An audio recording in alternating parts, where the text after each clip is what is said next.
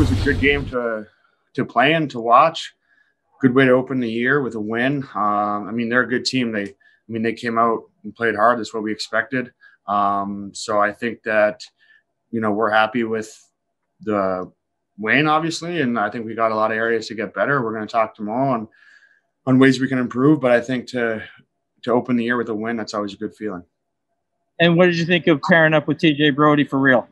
I like playing with TJ. He's great. Uh, I think he's really good going back for pucks. He's really good breaking it out. Um, he's calm with it. The first pass is great. Um, so I mean, it, it's it's just been a pleasure so far, and I think we're just keep talking, keep um, uh, keep trying to make it work better for us. Yeah, for sure. I mean, with the presence of them in the locker room on the on the ice is uh, I think has been key for us throughout training camp, and you can see that throughout the game uh, today. And I mean, we got a lot to learn from those guys uh, coming in. I mean, they've been uh, in the league for a while, and we got a lot to learn from them. You mentioned the uh, the lucky bounce. Uh, you know, sometimes uh, that that can go both ways. Of course, how do you feel about getting a, a big goal that way? The, clearly, last year in overtime and shootouts, a lot of those things are going against you guys yeah, obviously it's nice to to start off the season with, uh, a good bounce. I usually like to think that when uh, when the team's working hard, I mean those bounces will come come our way. Uh, Willie, I was just wondering what uh, the reaction was of the guys on the bench uh, when Freddie came up with that save on Toffoli with uh, I think a couple of minutes left in overtime, uh, and how that uh, may have boosted you for the final you know minute change there. Well, yeah, I mean when a goalie steps up and make a makes a save like that, obviously the boys get fired up.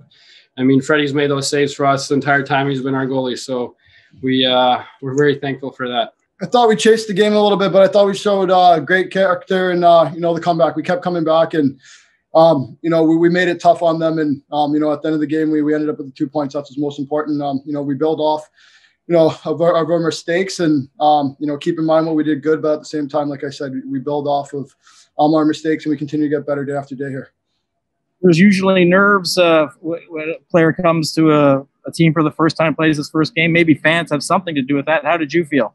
Um, I was fine. I, have been around the last you know year. I think this is my fifth team in the last year, so um, you know I'm comfortable coming to new surroundings. The boys made it really easy for me to you know integrate within the team, and um, you know I was just really excited for the game tonight, to be honest.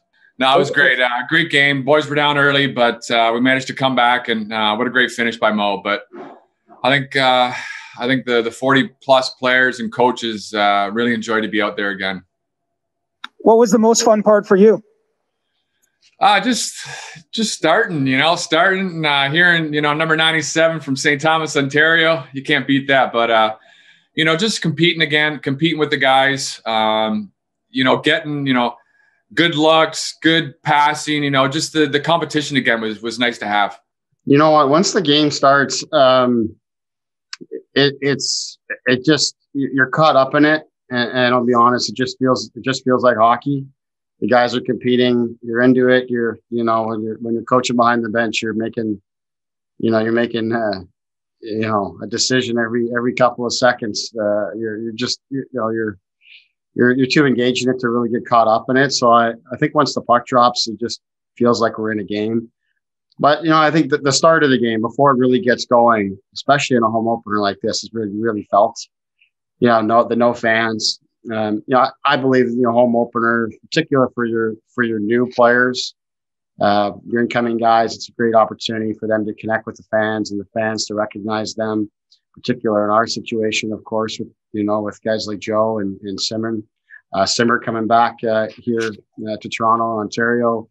Um, you know, you miss out on those kind of moments. But, you know, we miss our fans in such a such a, a fun back and forth type of game like this. Um, so it would have been nice, of course, to have them here. Um, but we're going to have to get used to this. This is what we've got, and hopefully, we're able to entertain people at home.